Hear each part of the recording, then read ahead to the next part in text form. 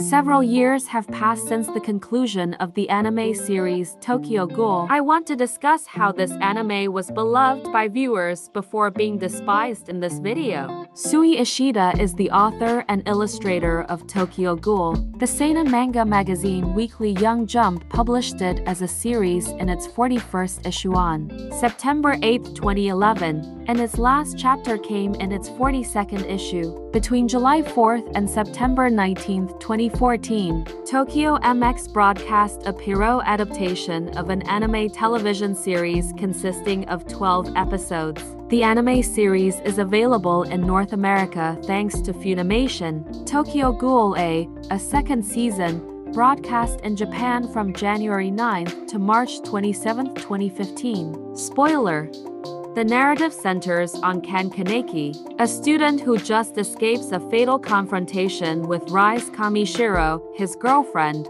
who turns out to be a ghoul and wants to devour him. He is in critical condition when he is transported to the hospital. Kaneki learns that he underwent surgery, that caused him to become a half ghoul after he has recovered. He now has to eat human flesh to survive, much like other ghouls do. He is adopted by ghouls who manage the Anteiku coffee shop, who help him adjust to his new existence as a half ghoul. Following up the series Tokyo Ghoul anime adaptation, Tokyo Ghoul, Ray was first revealed on October 5, 2017, and it debuted on April 3, 2018, by the studio Pierrot.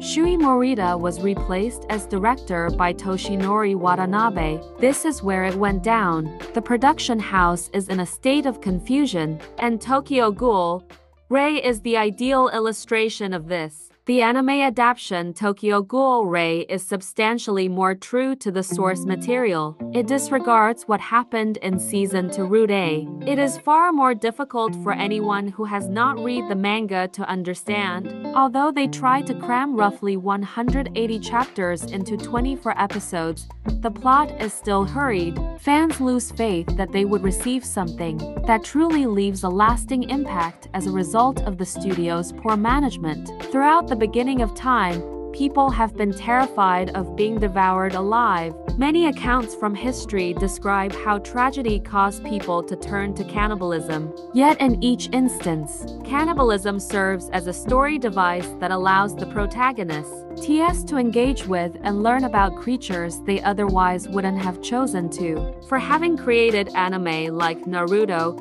Boruto, Bleach, Kingdom, and Black Clover, Studio Pierrot has a dubious reputation.